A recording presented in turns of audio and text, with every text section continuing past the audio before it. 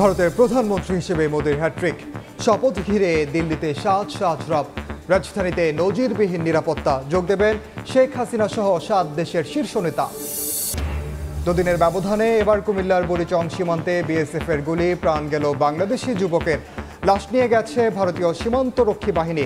যোগাযোগের চেষ্টায় বিজিবি এবং ঢাকার রাস্তার ছোলামুড়ে চটপটিতে সাত কোটি ইকোলাই ব্যাকটেরিয়া কীভাবে সুস্থ আছেন মানুষ? গবেষণার ফলে বিস্মিত খাদ্য কর্তৃপক্ষ। মনিটরিংয়ের আশ্বাস ভোক্তার ডিজির।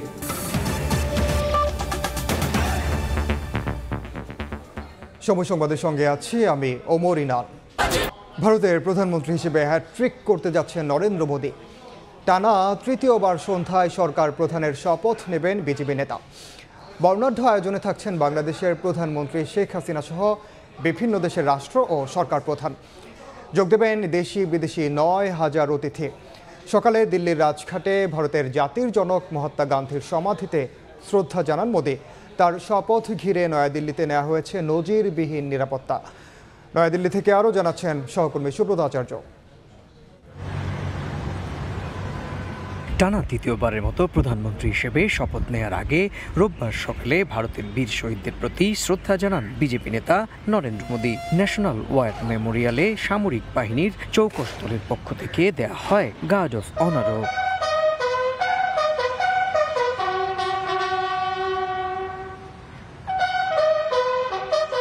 এর আগে দিল্লির রাজঘাটে ভারতের জাতির জনক মহাত্মা গান্ধীর সমাধিতে ফুল দিয়ে শ্রদ্ধা জানান নরেন্দ্র মোদী। পরে সাবেক প্রধানমন্ত্রী ও প্রয়াত বিজেপি নেতা অটল বিহারী বাজপেয়ীর সমাধিতে যান। এ সময় দলের শীর্ষ নেতারা তার সঙ্গে উপস্থিত ছিলেন। নিয়ম অনুযায়ী রাষ্ট্রপতি ভবনের চত্বরে হবে মোদীর শপথ গ্রহণ অনুষ্ঠান। প্রধানমন্ত্রী এবং কেন্দ্রীয় মন্ত্রী পরিষদের অন্য সদস্যদেরও এদিন শপথ পাঠ করাবেন রাষ্ট্রপতি দ্রৌপদী মুর্মু। তৃতীয়বার নরেন্দ্র মোদী শপথের পর জোর জল্পনা কারা জায়গা পাচ্ছেন তার মন্ত্রী পরিষদে অনুষ্ঠানে বিশিষ্ট অতিথি হিসেবে ভারতের প্রতিবেশী ও ভারত উপমহাসাগরীয় অঞ্চলের সাত প্রধানকে আমন্ত্রণ জানিয়েছে নয়াদিল্লি। শপথ অনুষ্ঠানে বাংলাদেশের প্রধানমন্ত্রী শেখ হাসিনা সহ মালদ্বীপ, শ্রীলঙ্কা সিচিলিস, মরিশাস, নেপাল এবং ভুটানের সরকার ও রাষ্ট্রপ্রধানরা উপস্থিত থাকবেন। পাশাপাশি একই দিন সন্ধ্যায় আমন্ত্রিত নেতারা ভারতের রাষ্ট্রপতি দ্রৌপদী মুর্মু আয়োজিত নৈশভোজেও যোগ দেবেন।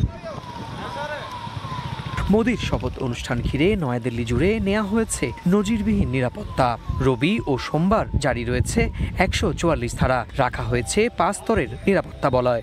বলার অপেক্ষা রাখে না, আগামী কয়েক ঘণ্টা বিশ্ব গণমাধ্যমের নজর থাকবে নয়াদিল্লির এই রায়সিনহা হিলের রাষ্ট্রপতি ভবনের দিকে। কারণ এখানেই তৃতীয়বারের মতো প্রধানমন্ত্রী হিসেবে শপথ নেবেন ভারতের প্রধানমন্ত্রী নরেন্দ্র মোদী। নয়াদিল্লির রায়সিনা হিলের রাষ্ট্রপতি ভবনের সামনে থেকে সুব্রত আচার্য, সময় সংবাদ। এই মুহূর্তে ভারতের নয়াদিল্লিতে আছেন সহকর্মী সুব্রত আচার্য। মোদীর শপথ অনুষ্ঠানের সবশেষ জানতে সরাসরি যাচ্ছি তার কাছে। দেখুন, আমি যে রাস্তাটি দাঁড়িয়ে রয়েছি সেই রাস্তা দিয়েই কিন্তু রাষ্ট্রপতি ভবনে অতিথিরা যেতে শুরু করেছেন। একটু আগেও আগেই দেখেছি যে নিরাপত্তা বলয়ের মধ্য দিয়ে একজন রাষ্ট্রীয় অতিথি রাষ্ট্রপতি ভবনের দিকে এগিয়ে- যাচ্ছেন।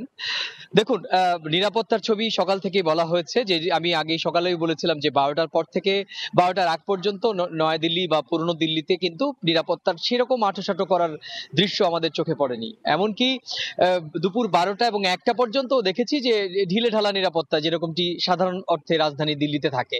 কিন্তু দুপুর একটার পর থেকে দেখা যাচ্ছে যে নদীর, নজিরবিহীন নিরাপত্তা রাষ্ট্রপতি ভবন, রাষ্ট্রপতি ভবনের আশেপাশে এবং নয়াদিল্লির বেশ কিছু এলাকায় কার্যত একশো চুয়াল্লিশ ধারা জারি করা হয়েছে। পাবলিক ট্রান্সপোর্ট একদম নেই বললেই চলে এবং যেগুলো কমার্শিয়াল গাড়ি, সেগুলো, সেগুলোও নেই।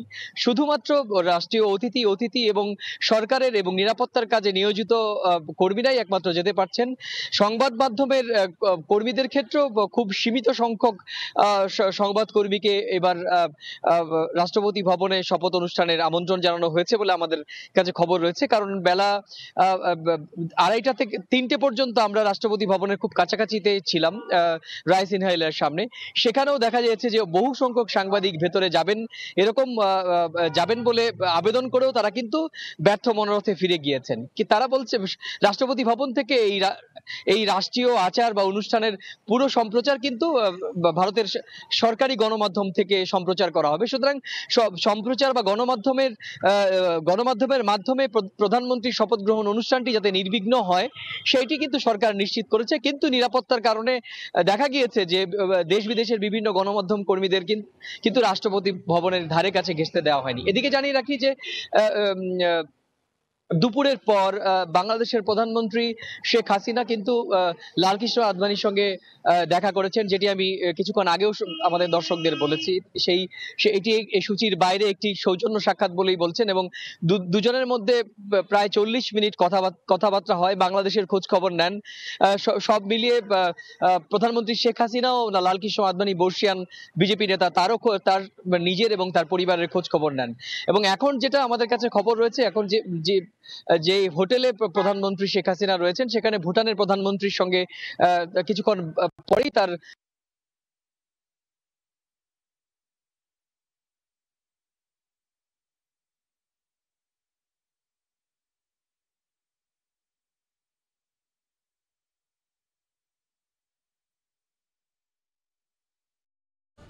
সরাসরি যুক্ত ছিলাম নয়াদিল্লিতে। যান্ত্রিক ত্রুটির কারণে সংযোগটি আমাদের বিচ্ছিন্ন হয়ে গেছে। তিস্তার জলের হিস্সা কবে পাবে বাংলাদেশ?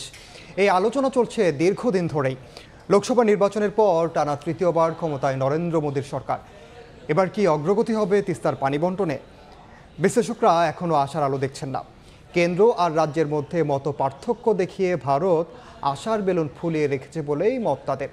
যদিও তিস্তা বিষয়ে চীন আগ্রহ দেখানোয় ভারত কিছুটা নমনীয় হবে বলে মনে করছেন সাবেক পররাষ্ট্রমন্ত্রী তাজওয়ার মাহমুদের রিপোর্ট। বাংলাদেশ ভারতের অভিন্ন নদী তিস্তা। উত্তরাঞ্চলের চার জেলার মানুষের একসময়ের অর্থনীতির চালিকা এখন বিভীষিকায় রূপ নিয়েছে সীমানার ওপারে একের পর এক বাঁধ নির্মাণের কারণে। বর্ষায় বাঁধের পানি ছেড়ে দিলে বন্যা আর গ্রীষ্মে পানি আটকে দিলে খরা। দুর্যোগের মোকাবেলা করতে করতে উত্তরের চার জেলার অন্তত পঞ্চাশ লাখ মানুষ নিঃস্ব হয়ে গেছে। ভারত বাংলাদেশের বন্ধুত্বপূর্ণ সম্পর্কের মধ্যে দীর্ঘদিন ধরে চোর কাটা হয়ে বিধে আছে তিস্তা। ভারত বলছে, কেন্দ্র সরকার তিস্তার পানি দিতে রাজি, বেঁকে আছে পশ্চিমবঙ্গের রাজ্য সরকার। ফেব্রুয়ারিতে পররাষ্ট্রমন্ত্রীর ভারত সফরে ওঠে তিস্তা ইস্যু। আশ্বাস দেয়া হয়, লোকসভা নির্বাচনের পর বিস্তারিত পরিসরে হবে তিস্তা বিষয়ক আলোচনা।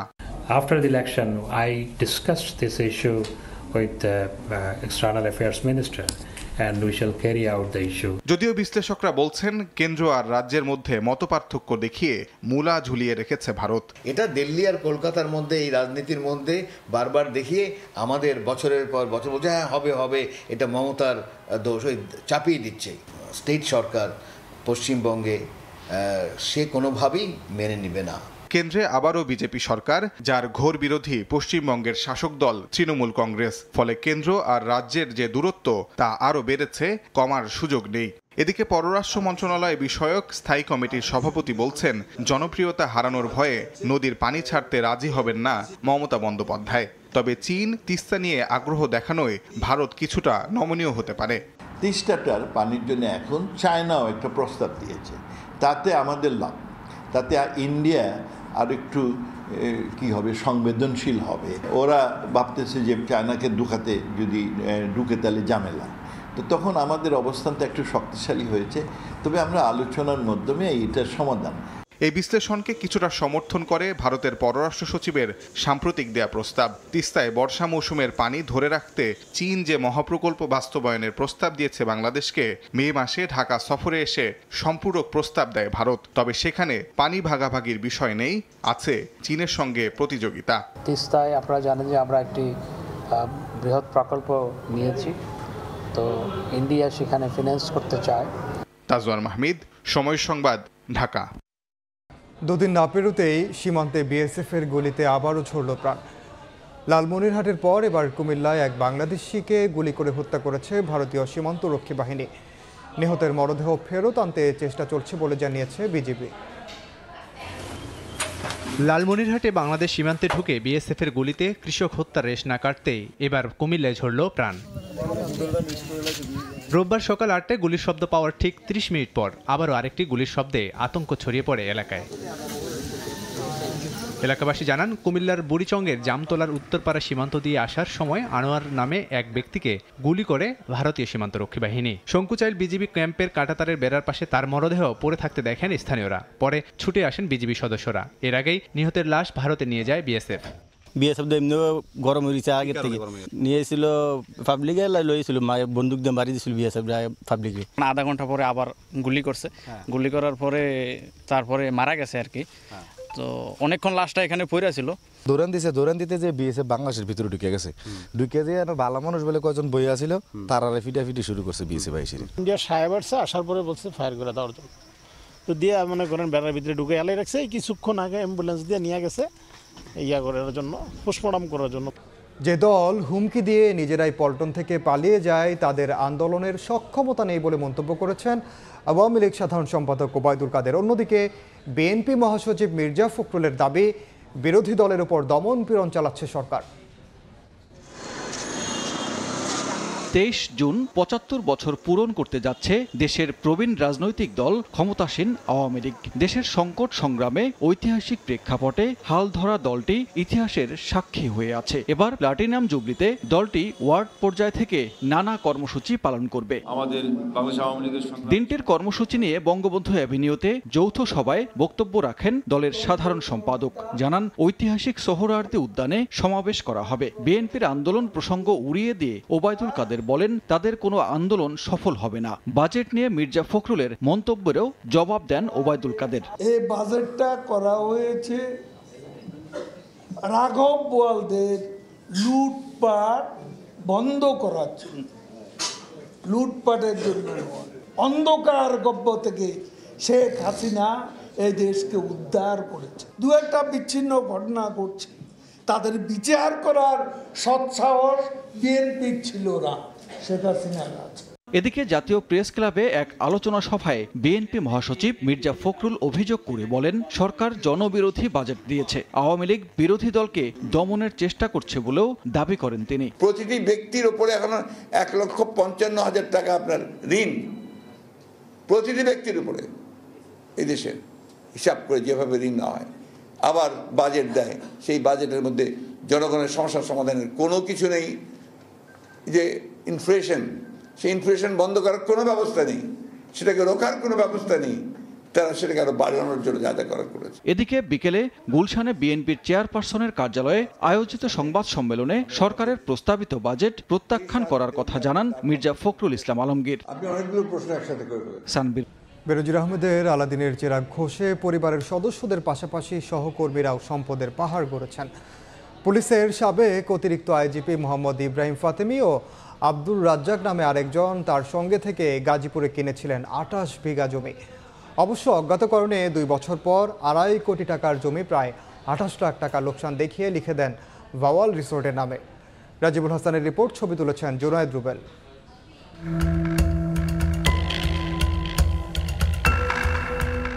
পুলিশের সাবেক আইজিপি বেনুজির আহমেদের অপকর্মের তালিকায় প্রতিদিন বেরিয়ে আসছে নতুন নতুন তথ্য। পরিবারের সদস্য তো বটেই ক্ষমতায় থাকাকালীন সময়ে সহকর্মীদের নিয়েও দেশের বিভিন্ন স্থানে সম্পদের পাহাড় গড়েছেন তিনি।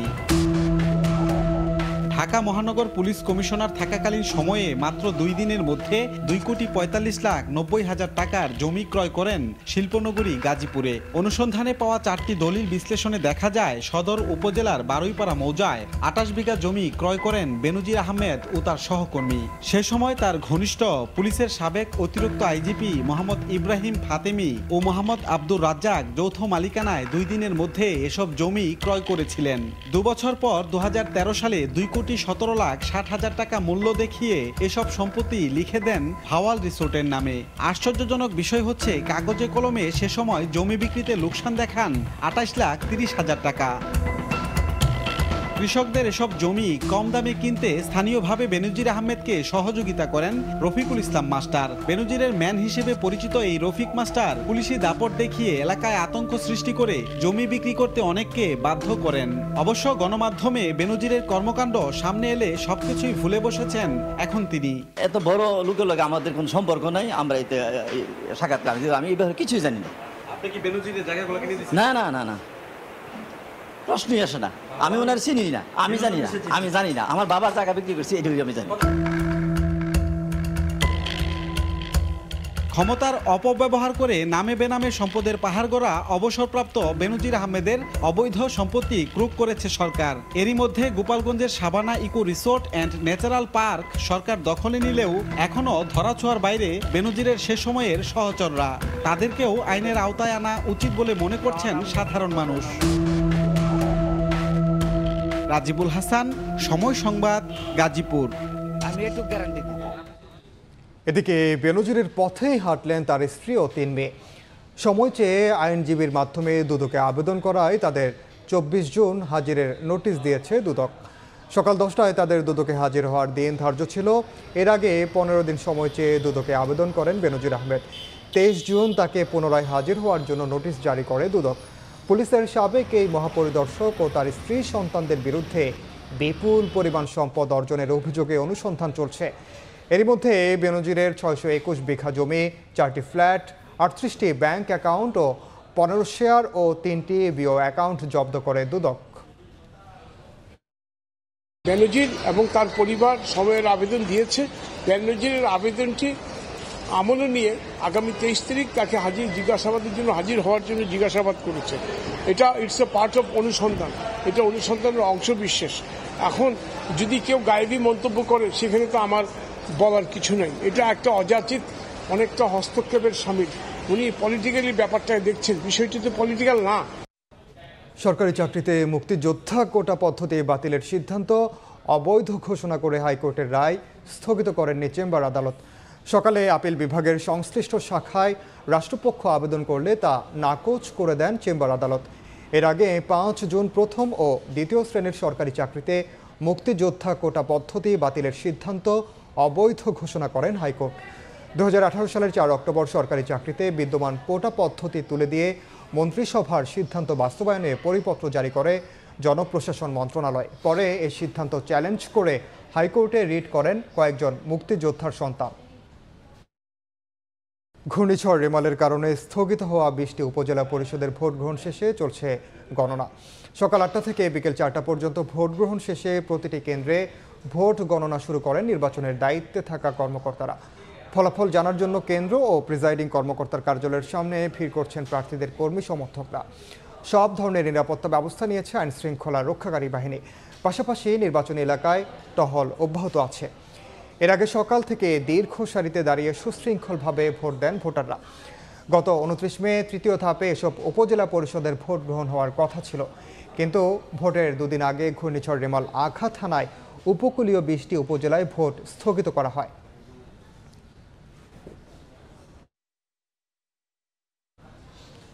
সপ্তাহ ব্যবধানে আবারও সিলেটে জলচট। আগের রাতের বৃষ্টিতে তলিয়েছে নগরের তিন ওয়ার্ডের নিচু এলাকা। কর্মদিবসে বিভিন্ন স্থানে পানি জমে থাকায় চরম ভোগান্তিতে পড়েন নগরবাসী। যানবাহনে গুনতে হচ্ছে বাড়তি ভাড়া। রাতভর তুমুল বৃষ্টি, যার প্রভাব পড়েছে নগরীতে।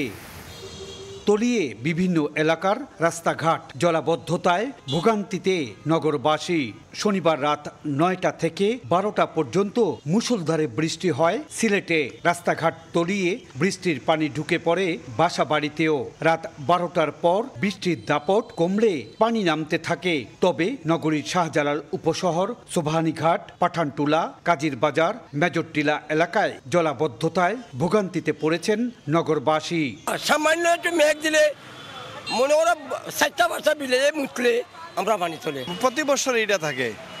এই এখন কিন্তু একটু বেশি আর কি। পথঘাট তলিয়ে যাওয়ায় ব্যাহত হচ্ছে যান চলাচল। এতে অতিরিক্ত ভাড়া গুনতে হয় যাত্রীদের। দশ টাকা করে ভাড়া বাড়ছে। ভাড়া বাড়াই কোন ভাই? কারণ এই জায়গায় তো আমরা গাড়ি চালাইতে পারতেছি না। পানি আরও বেশিও যদি হয় তাহলে ডেলিভারি করতে হবে বাধ্যতামূলক। গত উনত্রিশ মে থেকে নদ নদীর পানি বেড়ে এক সপ্তাহেরও বেশি সময় ধরে নগরী ও সিলেটের সাত উপজেলার পাঁচ লাখের মতো মানুষ পানিবন্দী ছিলেন। ইকরামুল কবির সময় সংবাদ সিলেট। শুধু ঢাকা নয় বাইরেও মাথা মাথাচাড়া দিচ্ছে ডেঙ্গু। রাজধানীর হাসপাতালগুলোতে ভর্তি রোগীর বেশিরভাগই ঢাকার বাইরে থেকে আসায় বাড়ছে উদ্বেগ। শহরাঞ্চলের বাইরে উপজেলা ও ইউনিয়ন পর্যায়ে এডিস নিধনে আরও বেশি মনোযোগের পাশাপাশি আক্রান্ত হলে দেরি না করে চিকিৎসার আওতায় আসার পরামর্শ বিশেষজ্ঞদের। রাশেদ বাপ্পির রিপোর্ট। অসহনীয় খরতাপ শেষে দেশ জুড়ে দেখা মিলেছে বৃষ্টির। ঘূর্ণিঝড় রেমাল পরবর্তী, বৃষ্টির হার বাড়ায়, জনজীবন প্রকৃতিতে স্বস্তি মিললেও একই সঙ্গে বাড়ছে মশার উৎপাত। বৃষ্টিজনিত জমে থাকা পানি পরিণত হয়েছে এডিসের উর্বর প্রজনন ক্ষেত্রে। স্বাস্থ্য অধিদপ্তরের রোগ নিয়ন্ত্রণ শাখা পরিচালিত প্রাক বর্ষা এডিস সার্ভে উঠে এসেছে ভয়াবহ চিত্র, যেখানে চোদ্দ দশমিক ছয় আট শতাংশ বাসাবাড়িতে মেলে এডিসের লার্ভা। গত বছর একই সময়ে এই হার ছিল চার দশমিক শূন্য তিন শতাংশ। অর্থাৎ গত বছরের তুলনায় বাসাবাড়িতে এডিসের ঘনত্ব বেড়েছে সাড়ে তিন গুণের বেশি। মাঠের এই চিত্রের মিল খুঁজে পাওয়া যায় রাজধানীর হাসপাতালগুলোতে। প্রতিদিনই বাড়ছে ডেঙ্গু আক্রান্ত রোগীর সংখ্যা। শুধু ঢাকা নয় ঢাকার বাইরে থেকেও আসতে শুরু করেছে রোগী যাদের অধিকাংশই জটিল অবস্থায় আসছেন ঢাকায়। শ্বাস প্রশ্বাস নিতে একটু সমস্যা হচ্ছে। তো এছাড়াও মানে জ্বর কনস্ট্যান্ট লেভেল একশো এক থাকছে। জ্বর মাথা ব্যথা মানে শরীর ব্যথা সব সব হয়েছিল। বমি করে জ্বর একশো দুই তিন। চলতি বর্ষায় ডেঙ্গুর উপদ্রব বাড়বে জানি বিশেষজ্ঞরা বলছেন প্রকৃত তথ্য পেতে অপেক্ষা করতে হবে আরও অন্তত এক সপ্তাহ সময়। তবে রোগী বাড়ার আগেই শহর গ্রাম সর্বত্রই মশার প্রজনন ক্ষেত্র ধ্বংসের আহ্বান তাদের। তীব্র গরমে যখন ডেঙ্গু রোগী হাসপাতাল ডেঙ্গু মুক্ত ছিল না সুতরাং বৃষ্টির পরে ডেঙ্গু বাড়বে এটাই স্বাভাবিক এটা হওয়াটাই এবং এখন বৃষ্টি তো সারা দেশে একসঙ্গে হয়েছে সুতরাং ডেঙ্গু রোগী কিন্তু শুধুমাত্র ঢাকা কেন্দ্রিক নয় গ্রামও চলে গিয়ে সুতরাং রোগী বাড়বে এটা এক এক কথায় বলা যায়। কিছু কিছু গ্রামে স্মল স্কেলে প্রজেক্ট নিতে হবে। এক একটা গ্রামে এক এক ধরনের।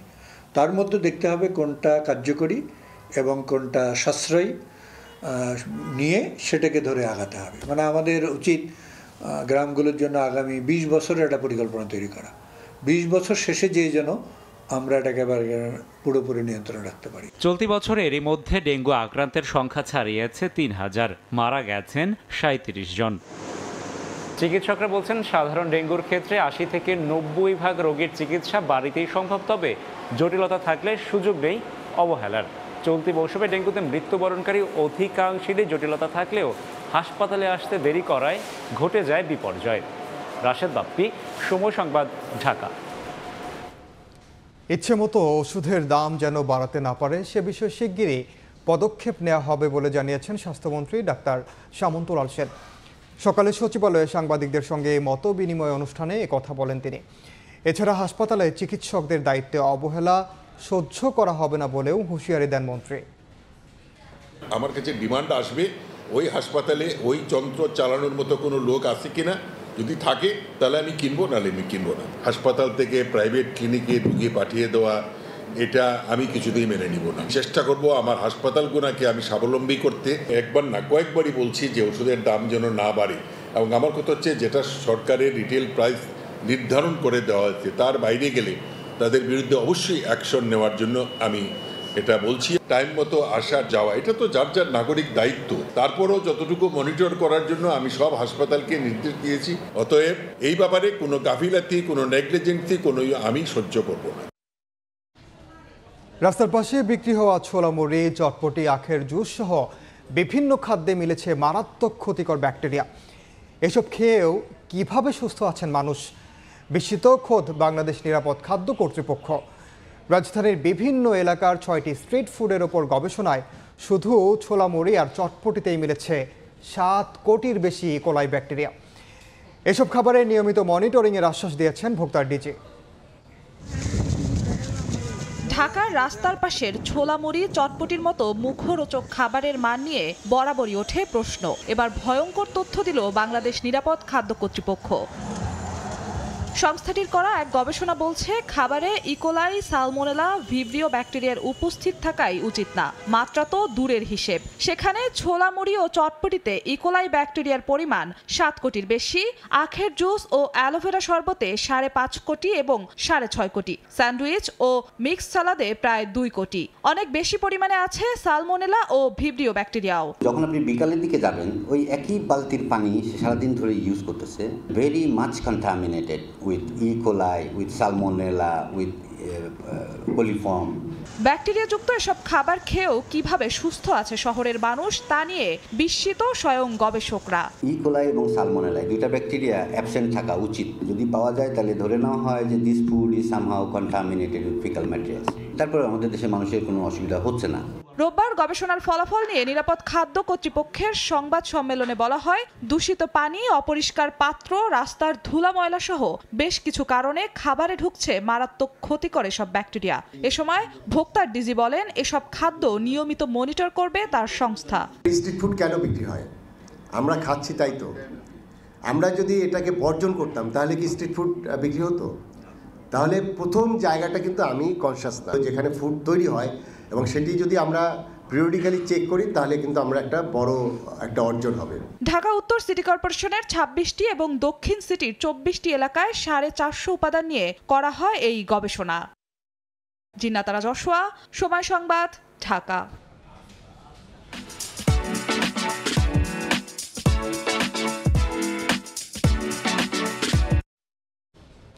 দেশে দিন দিন জনপ্রিয় হচ্ছে অনলাইনে খাবার অর্ডার করা।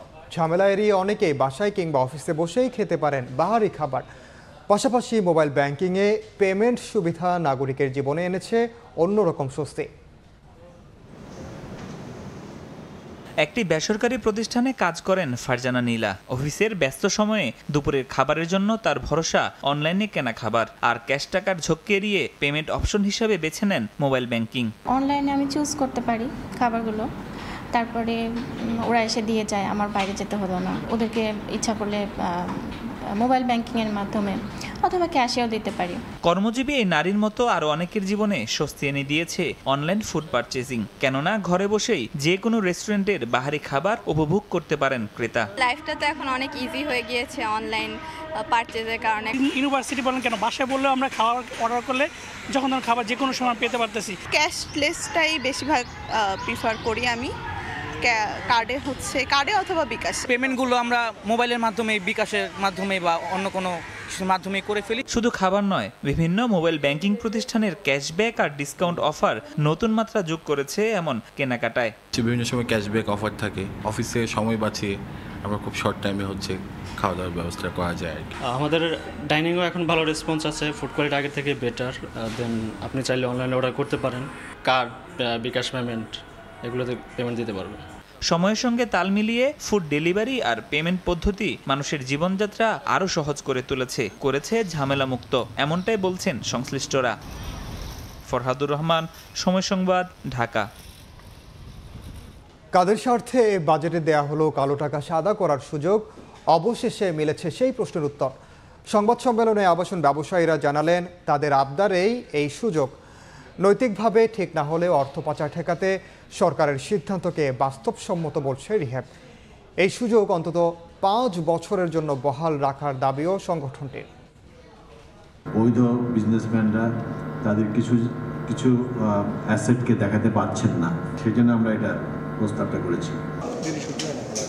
আলোচনার সূত্রপাত এনবিআর চেয়ারম্যানের এই বক্তব্য থেকেই। যদিও শনিবার এনবিআর চেয়ারম্যানের বক্তব্য একযোগে প্রত্যাখ্যান করেছে ব্যবসায়ীদের শীর্ষ সংগঠন এবিসিসিআই ও পোশাক খাতের সংগঠন, বিজিএমইএ, বিকেএমইএ, বিটিএমএ। প্রশ্ন উঠেছে, তাহলে কাদের স্বার্থে দেয়া হলো কালো টাকা, সাদা করার সুযোগ?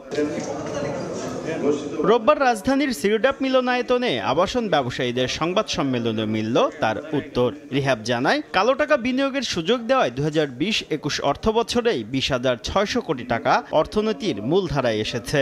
অর্থ পাচার ঠেকাতে তাদের আবদারেই বাজেটে রাখা হয়েছে এই সুযোগ। যতই বলেন যে আমি এটাকে পছন্দ করি না, কিন্তু বাস্তব এই বিষয়টা আমাদের সমাজে আছে। তাহলে এই টাকাটা তো ফেলে রাখা যায় না। যে এক নাগারে পাঁচ বছর দিয়ে দেওয়া উচিত পরবর্তী বছরগুলোতে স্বাভাবিকভাবে যে নাগরিক যেভাবে ট্যাক্স দেয় এইভাবে দিয়ে এটাকে আমার মনে হয় বৈধতা দেওয়া উচিত। এ সময় মধ্যবিত্ত নাগরিকদের সুবিধায় পুরাতন ফ্ল্যাট কেনা বেচায় নিবন্ধন ব্যয় চার শতাংশ করার প্রস্তাব দেয় রিহাব পাঁচ বছরের পুরনো ফ্ল্যাট চার শতাংশ হারে রেজিস্ট্রেশন ব্যয় সংক্রান্ত নিয়ম চালু করা হয়।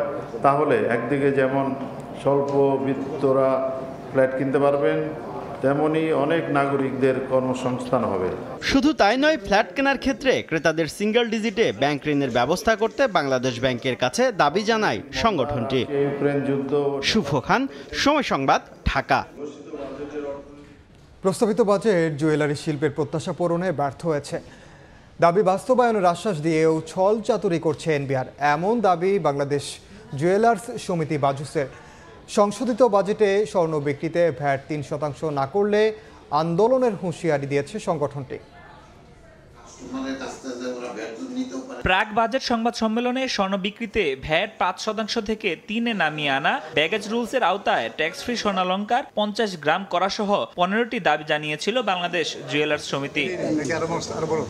তবে দুই হাজার চব্বিশ পঁচিশ অর্থ বছরের প্রস্তাবিত বাজেটে কোনো দাবি বাস্তবায়ন হয়নি উল্লেখ করে সংগঠনটির দাবি, ঘোষিত বাজেট জুয়েলার্স শিল্পের প্রত্যাশা পূরণে ব্যর্থ হয়েছে। রোববার প্রস্তাবিত বাজেট নিয়ে সংবাদ সম্মেলনে সংগঠনটি অভিযোগ করে, অসম কর কাঠামো ও অতিরিক্ত শুল্ক ব্যয় খাতটিকে পিছিয়ে দিচ্ছে। এনবিআর এর পক্ষ থেকে প্রাক বাজেট বৈঠকগুলোতে ব্যবসায়ীদের সমস্যা দাবি পূরণে দফায় দফায় আশ্বাস দেওয়া হলেও প্রস্তাবিত বাজেটে তার কোনো প্রতিফলন নাই। ব্যবসায়ীদের উপর চাপিয়ে দেওয়া হয়েছে অপরিকল্পিত উৎসে কর হারের বোঝা। কর আদায়ের নামে ব্যবসায়ীদের। হয়রানি করা হচ্ছে উল্লেখ করে সংগঠনের নেতারা বলেন এনবিআর চেয়ারম্যান বিভিন্ন দাবি পূরণে আশ্বাস দিয়ে বাস্তবে ছল চাতুরির আশ্রয় নিয়েছে। বৈঠকে এনবিআর চেয়ারম্যান বাজুসের দাবি পূরণের অঙ্গীকার করলেও বাস্তবে জুয়েলারি ব্যবসায়ীদের সঙ্গে ছল চতুরির আশ্রয় নিয়েছেন। দশ টাকার ভ্যাট আদায়ের আড়ালে নব্বই টাকা ঘুষ নেওয়ার সংস্কৃতি থেকে এনবিআরকে বের হয়ে আসতে হবে। সংশোধিত বাজেটে দাবি বাস্তবায়ন না হলে কঠোর আন্দোলনেরও হুঁশিয়ারি বাজস নেতাদের। যেদিন আমরা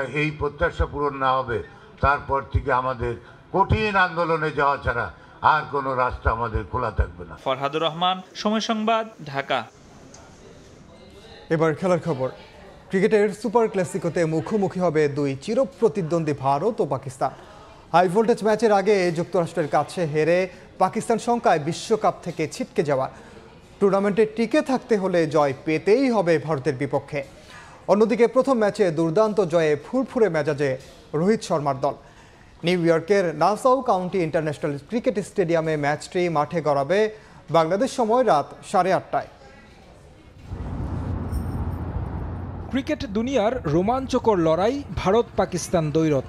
দুই চিরপ্রতিদ্বন্দ্বীর ক্রিকেটীয় যুদ্ধ দুই দেশ ছাপিয়ে ছড়িয়ে পড়ে গোটা বিশ্বে। তাই তো ফুটবল, বেসবল কিংবা বাস্কেটবলে মেতে থাকা দেশটিও উন্মাদনায় মেতেছে ক্রিকেটের সুপার ক্লাসিকো নিয়ে। কারণ দুই দল যে মুখোমুখি হচ্ছে বিশ্বকাপের মঞ্চে। রোহিত শর্মার দল বিশ্বকাপ মিশন শুরু করেছে দারুণ এক জয় দিয়ে। আইপিএলে দুর্দান্ত সময় কাটানো সব ক্রিকেটার আছেন ফর্মে। তবে পাকিস্তানের বিপক্ষে যখন মাঠে নামবে দল, তখন বাড়তি চাপ তো থাকছেই। একটা সময় ভারত নির্ভর করত তাদের ব্যাটসম্যানদের উপর। তবে টিম ইন্ডিয়ার বোলিং অ্যাটাক বিশ্বের অন্যতম সেরা। তাই পাকিস্তানের বিপক্ষে মাঠে নামার আগে বুমরা, আর্শদীপ, সিরাজ পান্ডিয়ারা নিজেদের ঝালিয়ে নিয়েছেন। অন্যদিকে, একই সঙ্গে দুই মর্যাদা রক্ষার ম্যাচ হয়ে দাঁড়িয়েছে পাকিস্তানের জন্য। কারণ, ভারতের বিপক্ষে এই ম্যাচ হারলে বাবর আজমের দলকে অনেকটা ছিটকে যেতে হবে বিশ্বকাপ মঞ্চ থেকে। তাই চিরপ্রতিদ্বন্দ্বীদের সঙ্গে বিশ্ব মঞ্চে জয় পাওয়ার পাশাপাশি নিজেদের অবস্থান টিকিয়ে রাখতে জয় ব্যতীত ভাবার সুযোগ নেই। ভারতের শক্ত ব্যাটিং লাইন আপকে রুখতে হলে শাহিন আফ্রিদি, মোহাম্মদ আমির, হারিস রুফদের নিতে হবে বাড়তি দায়িত্ব। পাশাপাশি ব্যাট হাতেও ভূমিকা রাখতে হবে বাবর সহ রিজওয়ান, ফখর ইফতেকার সাদাবদের। এখন দেখার পালা, ভারত তাদের দাপট ধরে রাখে নাকি দেয়ালে পিঠ ঠেকে যাওয়া পাকিস্তান? মর্যাদার সঙ্গে বিশ্বকাপে নিজেদের অবস্থান টিকিয়ে রাখে। তারেক হাসান, শিমুল, সময় সংবাদ। এ পর্যায়ে শীর্ষ সংবাদগুলো জানিয়ে দিচ্ছি আরেকবার।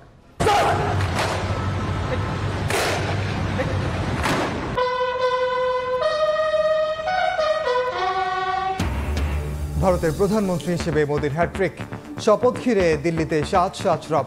রাজধানী জুড়ে নজিরবিহীন নিরাপত্তা। যোগ দেবেন শেখ হাসিনা সহ সাত দেশের শীর্ষ নেতা। এই ছিল সময় সংবাদে। বাংলার সময়ের সঙ্গে থাকবেন সহকর্মী ছোঁয়া খন্দকার। ধন্যবাদ ইনান বাংলার সময় নিয়ে ফিরছি কিছুক্ষণ পর। সঙ্গেই থাকুন সময়ের